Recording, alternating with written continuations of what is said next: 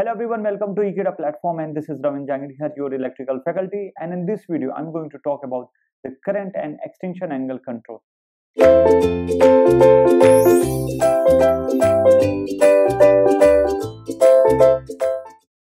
So this is the, the basic figure which I have drawn here that is related with the predictive type and what is the predictive type?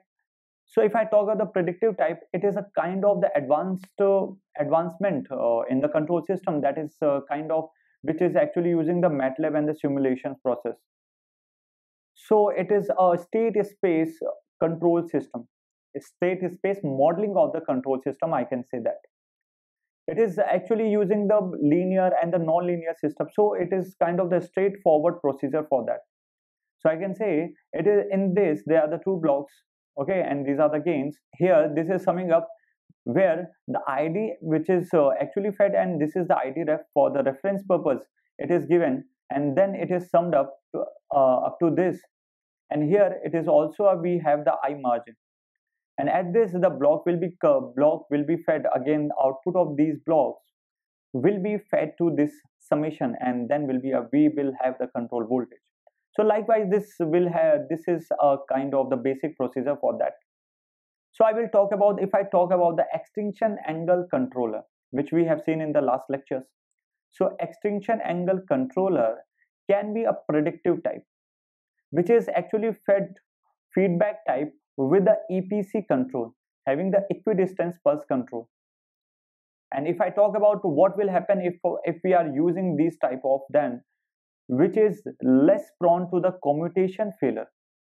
So if uh, because due to the overlapping we sometimes we uh, face the problem related with the commutations. So commutation failure is actually reduced okay here by using this schemes or by using this system of operation. And i can say also was used in the early hvdc projects. In the earlier hvdc projects uh, these were the main technological innovation at that time now. So if I talk about these points, that is the feedback control with the PFC type of equidistance pulse control overcomes the problems of associated with the IPC. So I can say that the, this equi, equidistance pulse control. What is the equidistance pulse control?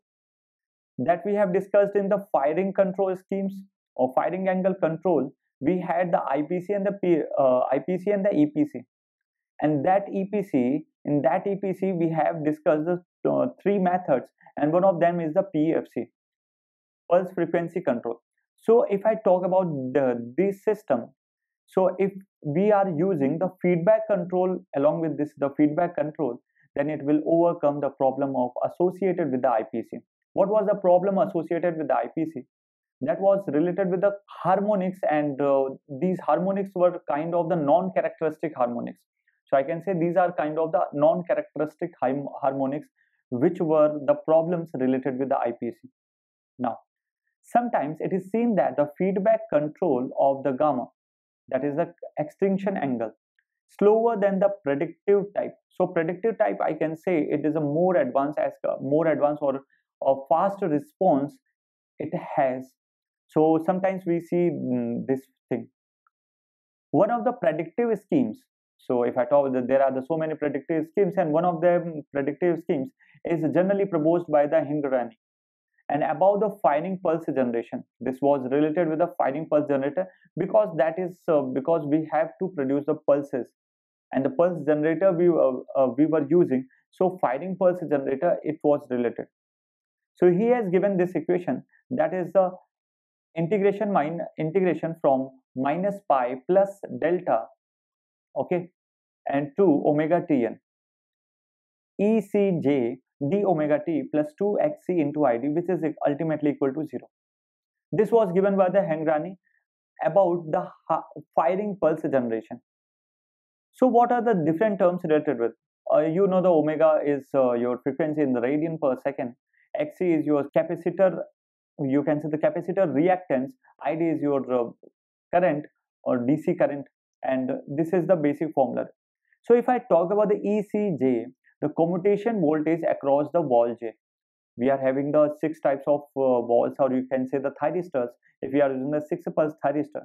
so one of them it can be considered so let us say we have considered the wall number 3 then i will write ec3 likewise it has to be written there and then it will be integrated what is the tn that the instant of its firing when we are firing the wall number 3 that instant at that time let us suppose we have fired at uh, at let us suppose at the 200 degree. Okay so that will be a firing for that. Okay now generally the prediction of the firing angle is based on the equation. So as we are firing the walls so that that can also be predicted and what the prediction? There is given a relation or you can say the equation. That is the beta j that is the beta j that is the angle of advancement.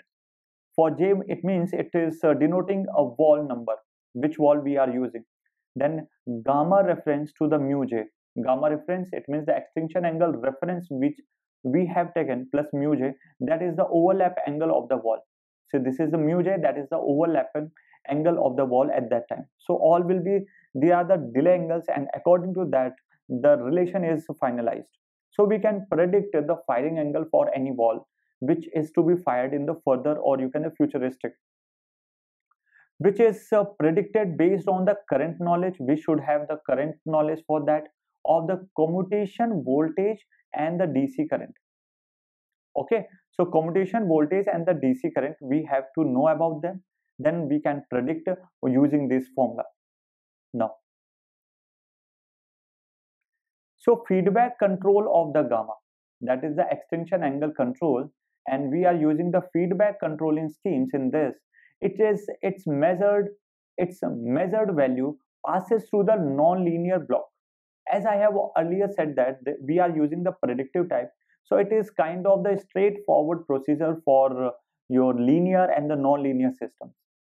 So if we are using a gamma or controlling the gamma in such a way, we are using the predictive type, then it will have the feedback system.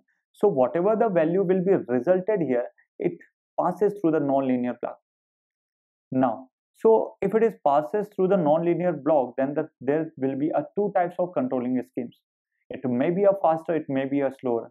So it is written here the faster it may be a chance of faster operation it may be a chance of the slower slower operation if we as per the requirement then the gamma which we have fed it should be less than the gamma 1 and slower then the gamma is greater than the gamma 2 okay? So under the large dist uh, disturbance so let us have the we have the large disturbance kind of large disturbance i can say that the sudden dip in the ac voltage if there is a sudden dip in the AC voltage, then I can say these are the large disturbance and uh, due to this we generally apply the signals from the derivative of the voltage or the DC current.